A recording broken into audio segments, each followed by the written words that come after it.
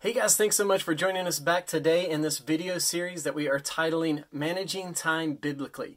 Uh, and if you've been following some of our previous videos, you know that we have been going over ways that we can spend some of our free time now because we have so much of it on our hands uh, to help benefit us in the future. And so these are just little ways that we can dive into other people, that we can dive into relationships. And today is the last of the three ways that we are going to talk about, and that is seek wisdom rather than riches.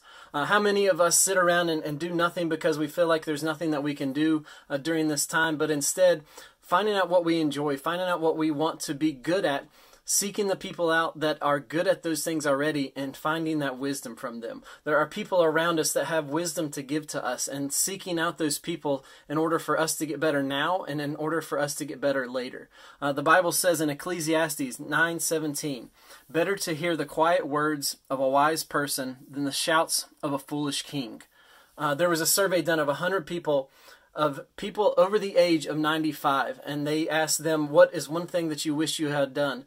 Uh, and they said that i wished i had done things when i was younger to help leave a legacy after i'm gone. And so what are we doing now uh, to enjoy the things that we are doing but help us getting better at those things? And the second bible verse that i had is proverbs 16 16 and it says how much better to get wisdom than gold to get insight rather than silver. And I love those two verses because it kind of teaches us not to focus on the material things in life, but focus on the things that we love that we can contribute to others and how we can get better at those. And that way is to seek wisdom from other people. So, who are we diving into in our daily lives that can give us that wisdom? And so, I wanted to leave you guys with that for the end of this series.